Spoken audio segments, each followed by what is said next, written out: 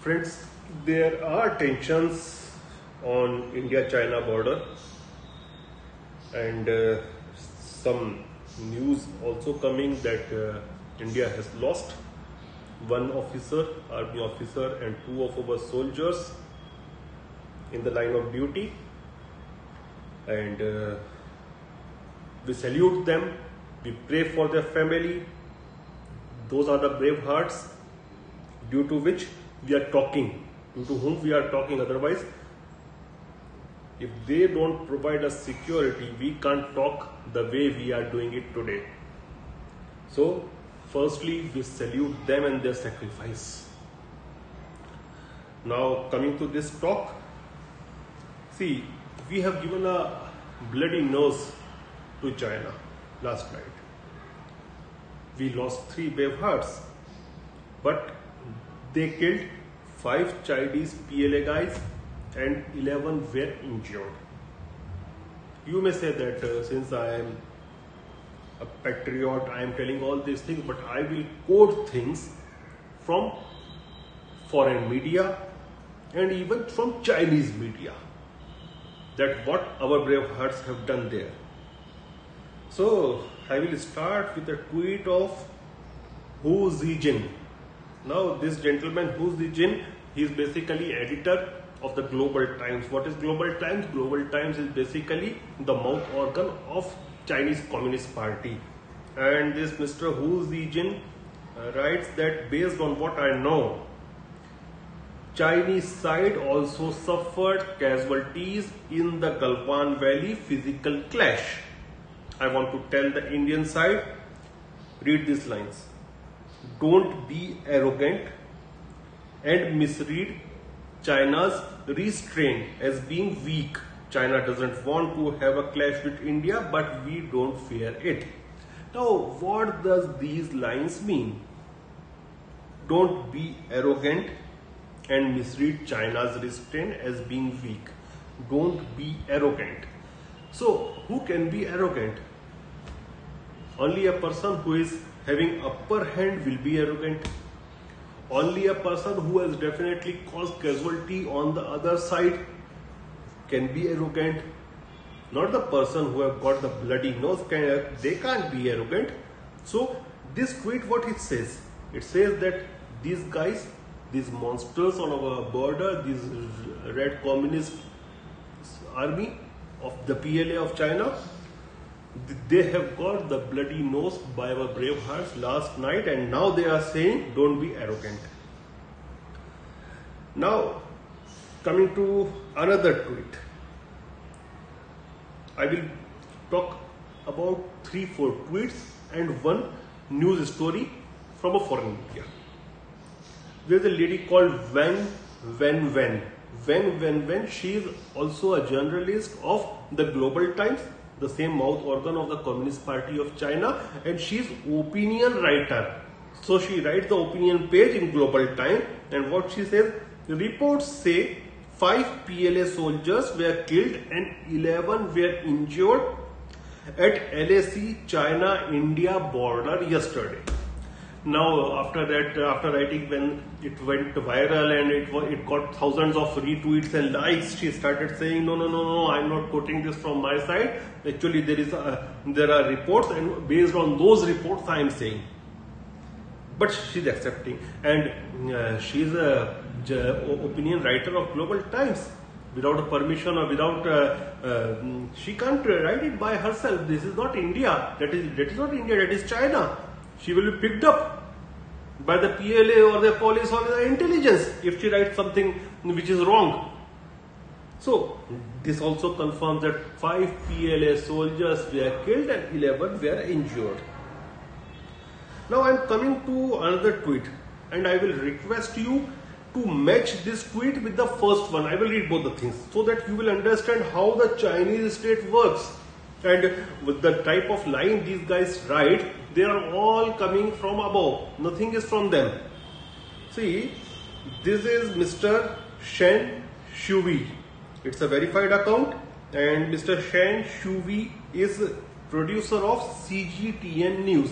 Now what is this cgtn uh, news? It is also official mouth organ television, televised mouth organ of the Communist Party, Chinese Communist Party. So what he writes, sources confirmed Chinese side also suffered casualties in the Galwan Valley physical clash along India-China LAC. Now, I am re- I am reading this tweet again and I will reread the first tweet. Now you can match the two things, even the writings, even the type of vocabulary they use. You will understand that these guys, these big journalists of China, they get some tweet to be retweeted and right. They just organize the words through small changes and uh, tweet it. I am reading it again. Sources confirmed Chinese side I'm reading the main thing. Chinese side also suffered casualties in the Galwan Valley physical clash. Okay, this is from the TV guy, producer. Now reading the tweet of Hu Xijin, the editor of Global Times. Based on what I know, just cut this. I'm reading the exact words. Chinese side also suffered casualties in the Galwan Valley physical clash same dicto words without any comma, without anything. That means that these guys get all these things to tweet from somebody in Beijing, from some office in Beijing. We can understand how China works. Now coming to a foreign media, neither Indian nor Chinese. This is a report by The Express. British newspaper, British tabloid. I know uh, they make things sensational. The Express has, uh, it is the way of presentation. The, the way of, of presentation of this newspaper tabloid Express is sensational. They gave the heading World War Three. This is a bit sensational. World War Three, but uh, read the words. India slaughters five Chinese soldiers in bloody massacre. Again, that figure five is coming.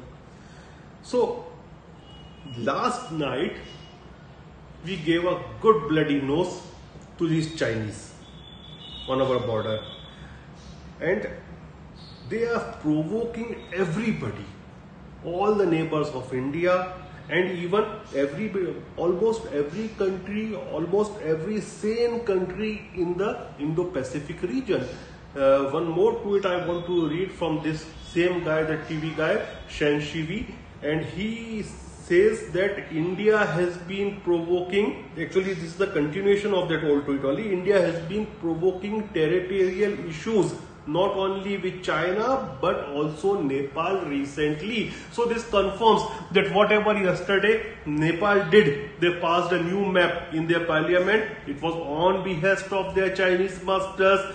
So it also reconfirms that Two of our diplomats were picked up in Pakistan by Pakistani authorities, though they don't have the right to do it as per the Geneva Convention. They enjoy diplomatic immunity, but they were picked up. That was also on the behest of this uh, communist communist government of China. And two days back, you can go on my Twitter or my Facebook. I wrote an, an small article a small article that uh, tensions are erupting between North and South Korea and the communist government of Beijing is directly responsible for the same. And I, I told it two days back, you can read it, that uh, this North Korean, uh, this North Korean regime will blow up the liaison office which is on the, the joint liaison office which is on the border of North Korea, it is a joint office, licensing office between South Korea and North Korea and today that has also happened. So China actually what it is doing,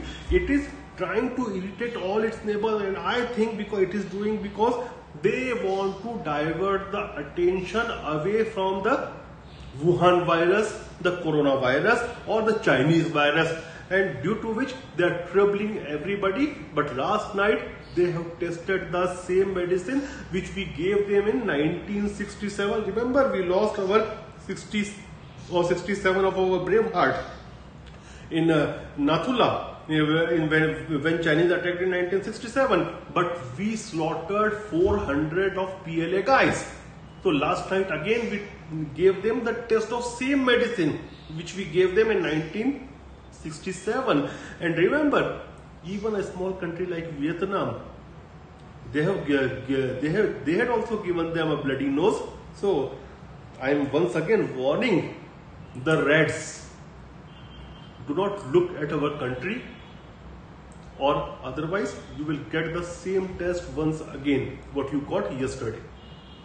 Goodbye. Thank you